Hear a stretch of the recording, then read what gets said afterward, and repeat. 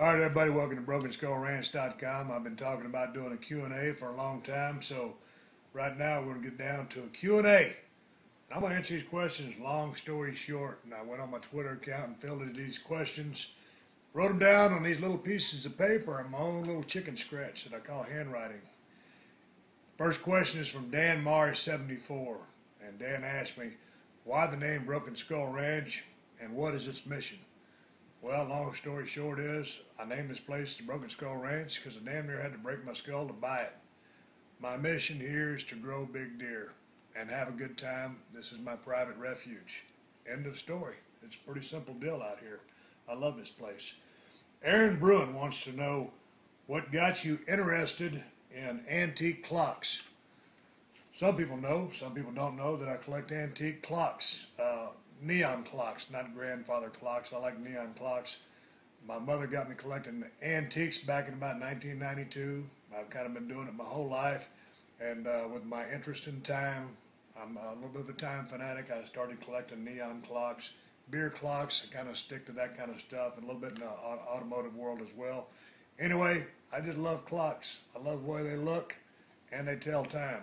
So that works for me. Matisse Borsani I don't know how you pronounce that, but that's how I'm saying it. Ask, have you something to regret about your pro wrestling career? Well, no, I mean, you know, when you look back at anything you ever did, hindsight being 2020, some things you'd like to do a little bit differently.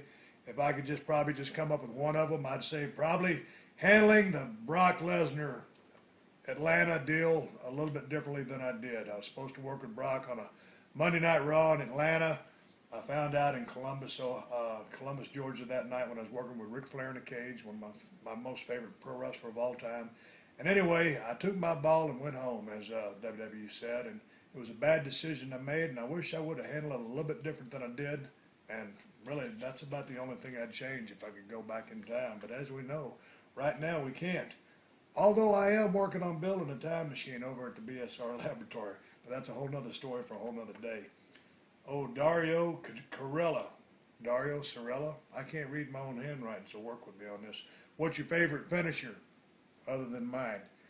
I'm telling you, there's been some great finishers uh, in the world of pro wrestling, sports entertainment, whatever you want to call it. Uh, man, I enjoyed the Iron Claw back in the day. I believed it was real, and it was real for a while. But I think if I have to pick one finisher, which is the most devastating, which you could do to just anybody could take it, anybody could give it. It'd be the, the, the finisher that Jake the Snake Roberts used, and it was the DDT.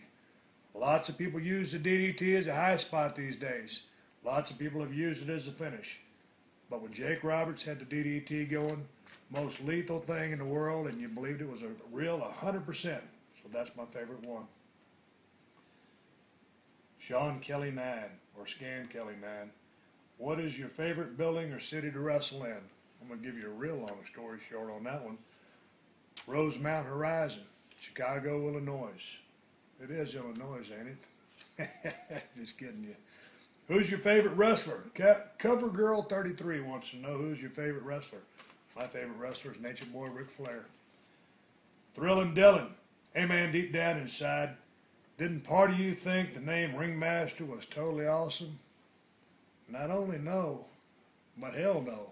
I knew it sucked, but it was a foot in the door, and uh, you know came up with the Stone Cold Steve Austin gimmick, and everything worked out okay. Fred X11 sends in a question: What is your goal in your acting career? Boy, let me delve deep into thought on this one. There's so many things that I want to accomplish in the world of acting.